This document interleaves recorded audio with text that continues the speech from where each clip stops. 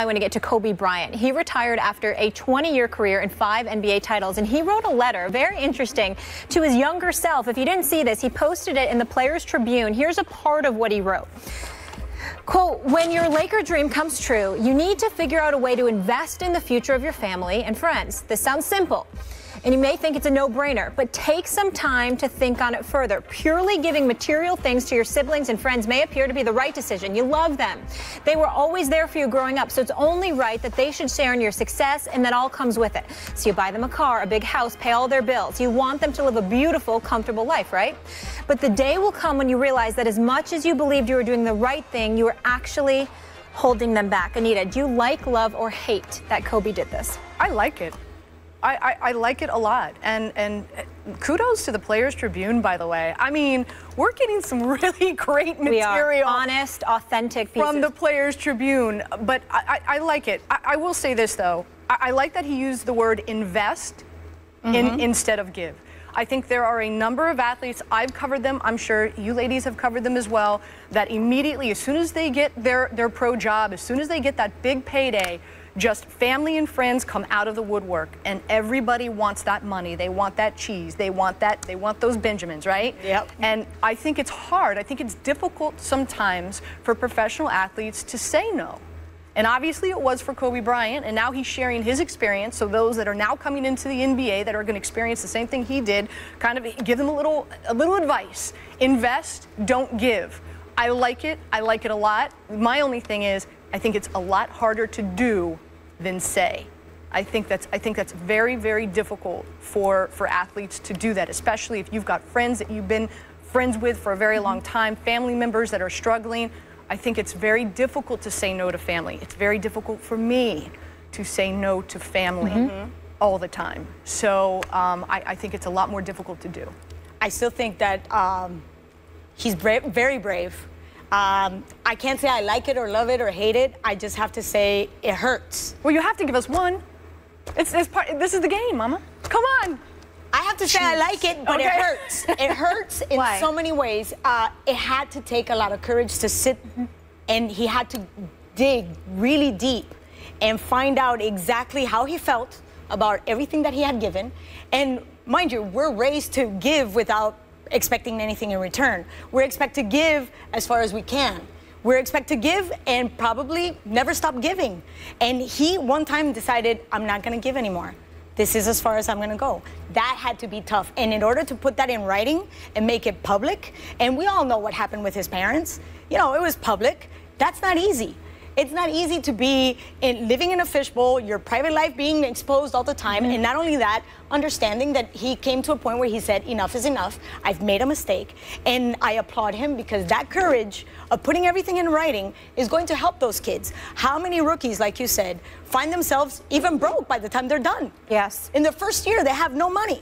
It's gone. Why? Because they don't know when to say, this is as far as and I And a lot of hanger-ons. Yes. Yeah. So congratulations, but it pains me. I, I feel his pain. I, I, I can see the words saying, dude, this was tough, and I understand that it's gonna be tough, but you gotta do it for you and you gotta do it for them. Mm -hmm. As an older child with younger siblings, I understand that, and it's never easy. I, I totally echo that sentiment, but it also takes a courage and, and, and one of those aha moments to say, I'm not doing you any favors. I'm, I'm going to be the dissonant voice here, okay. and I know it's coming. Love the message, hate the letter. With all due respect really? to the Players Tribune, why, and very specific why. For me, this is not the way. Financial trouble is something that people who come from inner cities and who come from ev everywhere go through. It is an exclusive to very wealthy athletes. Ryan Howard went through the same thing. Many other players have gone through the same thing. And I think that the means to really address this is maybe, and I'll, and I'll make it personal. You know, I come from a country that is broke. I'm Puerto Rican. We all know what's going on with I the Puerto Rican country. government. Thank you very much. Love it. La Isla love it. I was just there over Christmas. Love it. But I grew up in a country that they didn't teach you financial responsibility or fiscal responsibility. Mm-hmm. But You who does, no, really? No, but the point is that you need to learn this. In the United States, they actually do. Oh, you know I- what? I know all these kids right now who are in high school, you know, maybe it's generational, who are taking financial classes of financial. Fantastic. responsibility. So the point is that that's the way that maybe Kobe should have done it. The way that, you know what, let's invest in a program in their cities to teach people how to manage their money better because it isn't a problem of millionaires. Yeah, but is, it is that, actually but a is that, is problem- that but is that going to get the message to the players? But I don't this was, think this I was actually his don't way. think a letter in the Players Tribune is going to do it. I actually don't. See, I disagree that. with you. I think That's I fine think that players. disagree. I think players I have no love. problem with I think disagreeing. players love the Players Tribune. I think they read I it respect. probably more than I respect else. that. I think that it can be a little disingenuous to speak that way. That's just my Here's what I opinion. think I'm taking away from this, what you guys are going back and forth, is you're saying that Kobe speaking to other athletes, and obviously, as you brought up, it- regardless of how many millions of dollars, a lot of athletes end up losing a lot of their money. And this goes back to that old saying, give a man a fish, feed him for a day, feed him Exactly. to a fish, investing in his future. But I think what you're saying here, which is you're bringing up an interesting point, is that there's such a bigger issue. Yes. And that you'd rather it trickle down more into the communities rather than just speaking to athletes. But speaking to athletes specifically, I love that he did this because I think he's this is a way that he can he can share with all the young athletes out there. And one of the things he spoke about in the ESPYS is how he wants to inspire this younger generation of athletes. And basically, he's probably looking at you know, in a way, I did a disservice to my family members. It's one thing if I'm investing in their education or, or certain things to set them up where they can then have their own careers and take care of themselves, but just giving handouts doesn't necessarily do anything. But I think it's really interesting your point in terms of creating the programs and certain things and taking that a step further. But to, to reach athletes specifically and him just working on inspiring that, I think he does that with this letter. Side note as well, I, I kind of I kind of dig what LeBron James did. I I mean, look, he took an entourage and he put them to work. Maverick and all those dudes, they went to, they, right? Finally, it's I of the mean, few they, ones Oscar that De La they Hoya did exactly the same thing. It they was went all his together. guys, It's all his guys. It's all his guys. Steve and he- Jobs. and- what Adam Sandler did in the movies, right? He hired all his friends. No, but it's it really that's Ben a great point. does It that is really impressive to think that he he did this, and, and look how successful these guys are. Very. In in terms of running an agency. It's wonderful that you encourage, and I, like I said, love the message. Yeah. I just don't think that a The letter way. on the pra- Players Tribune is the way. I- and now I have all due respect for the Players Tribune. I mean, it did bother me in the beginning because I, I was a Yankees beat writer for Yeah. five years, and when someone tells me I was never asked a good question, it bothers me. You know, which is the premise That of the came Players out in the Tribune. Players Tribune? They no, said- it's yeah. just you know, Yeah. it's one of the kind of one of the lines of when when Jeter, you know, took this took this on, but.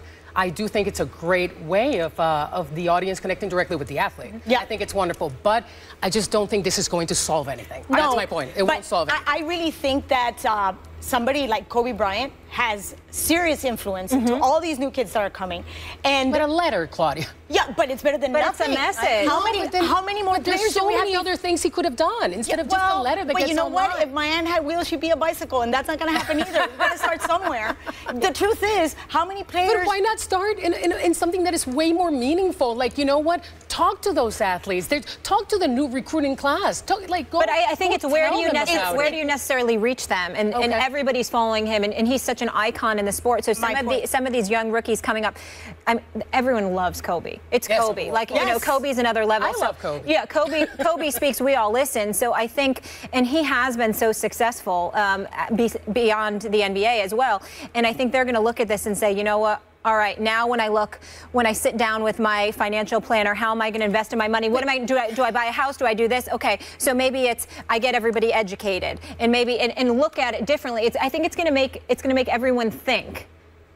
At Well, the problem that I have with this is that I feel, and this is just my opinion, Mm-hmm. respectfully, that when they read this, the people who have these problems, Yeah. which are not exclusive, they're. Anita, Anita mentioned her own personal experience. Claudia did. I did too, right? When you come from an immigrant family and Yeah. you have Mhm. success, Yeah. you have the same problems. The problem is that I see people reading this who admire and love Kobe, including myself, and I look at it and I go, millionaire problems. That's what I said to myself. hashtag millionaire cha- champagne problems. There you go. world Yeah. So problems. that's, Champagne problems. that's what it is for me. I, I will say this though, in regard because I know we've, we've kind of incorporated the Players Tribune in this. I, in, in talking to athletes, I, you know, it's hard for them to trust us.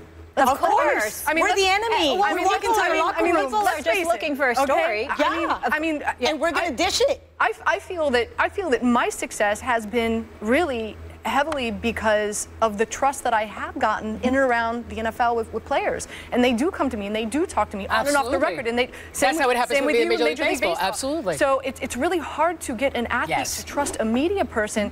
And, and what they like about the Players Tribune, and, and because Derek Jeter is so well respected and, and, his name is on it, is that it's a safe place for them. But the problem that I had was for them to attacking the media. And have a voice. You know, the problem that I have with it is that you were attacking baseball writers who are very hardworking, who did their job, who didn't, you know. So don't say that we didn't do a job well. Maybe you didn't enjoy your relationship with the media, or maybe it's not the right way for you. To, there was no filter, right? Their point is there's no filter. Mm-hmm. But don't. There is a balance. You can actually have that platform and at the same time not attack the media. It could be a balance. Okay. But going back to the Kobe letter, I uh, honestly Yes. think that his idea was okay, I have this opportunity.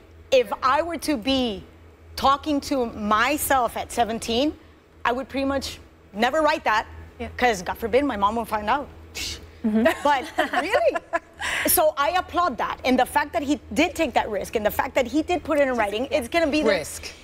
It's a Well, in terms of hurting his family, though.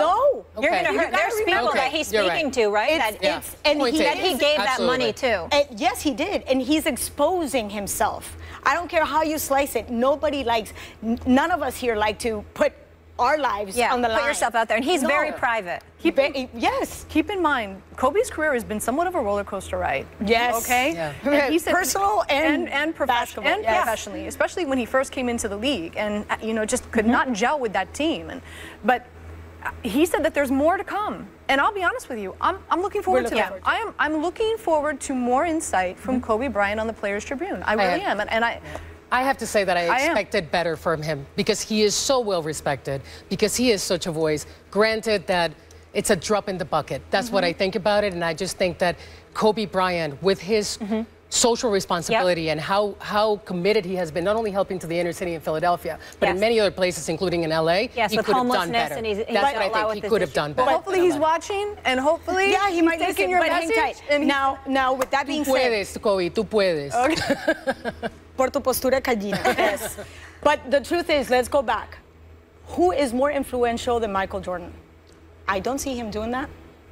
I, Well, maybe he ever doesn't been- agree He with just- it. just I mean, I don't know, I but maybe he can't- doesn't I agree with I can't speak to his philanthropy work. I, I, I- I'm, I can't honestly, speak I'm for it. honestly I unaware of can't it. I don't know. But I have never heard of him speaking, writing things down, and saying, for all you guys coming into the NBA, these are my words of advice. And God knows He knows about success. And He knows how to, He's gone through mm-hmm. tragedy very publicly. He's gone through another roller coaster. I mean, NBA wise, it does not get any better. But personally, he had to deal with a whole lot.